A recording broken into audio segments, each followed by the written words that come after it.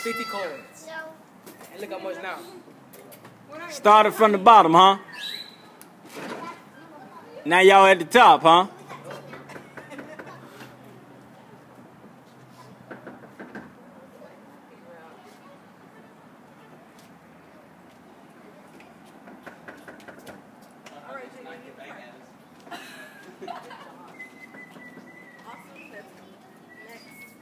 You want us to get that back row? You?